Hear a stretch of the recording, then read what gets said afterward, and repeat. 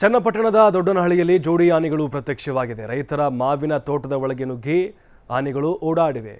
ಇನ್ನೂ ಗ್ರಾಮಸ್ಥರು ಜೋರಾಗಿ ಓಡಿ ಅಲ್ಲಿ ಆನೆಗಳನ್ನು ಕೂಡ ಓಡಿಸಿದ್ದಾರೆ. ಚನ್ನಪಟ್ಟಣದಲ್ಲಿ ಆನೆಗಳ ಓಡಾಟ ಕೂಡ ಹೆಚ್ಚಾಗ್ತಾ ಇದೆ.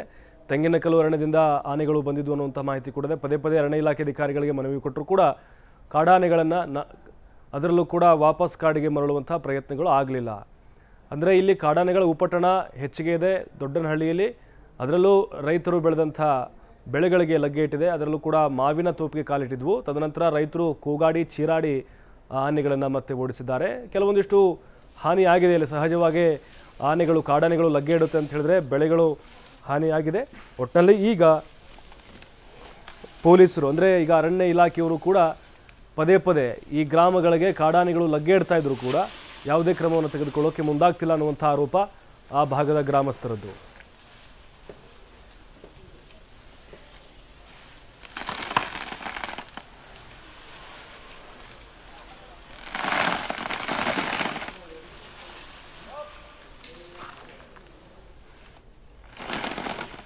ตัวเนาะก็เลยปล่อย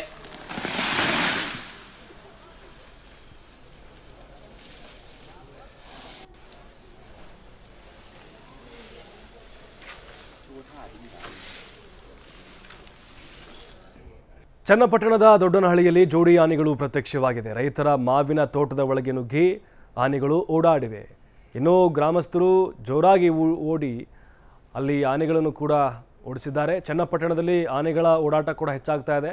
ತೆಂಗಿನಕಲ್ಲು ಅರಣ್ಯದಿಂದ ಆನೆಗಳು ಬಂದಿದ್ದು ಅನ್ನುವಂಥ ಮಾಹಿತಿ ಕೂಡ ಪದೇ ಪದೇ ಅರಣ್ಯ ಇಲಾಖೆ ಅಧಿಕಾರಿಗಳಿಗೆ ಮನವಿ ಕೊಟ್ಟರು ಕೂಡ ಕಾಡಾನೆಗಳನ್ನು ನ, ಅದರಲ್ಲೂ ಕೂಡ ವಾಪಸ್ ಕಾಡಿಗೆ ಮರಳುವಂಥ ಪ್ರಯತ್ನಗಳು ಆಗಲಿಲ್ಲ.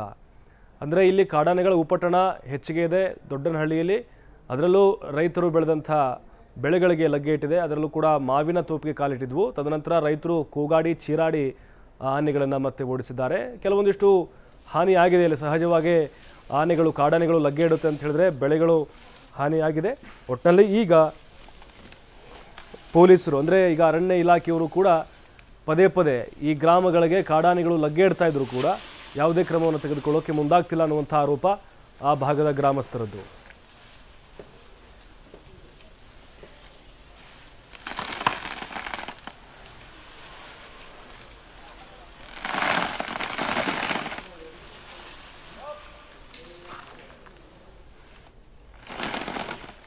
ตัวเนาะก็เลยปล่อย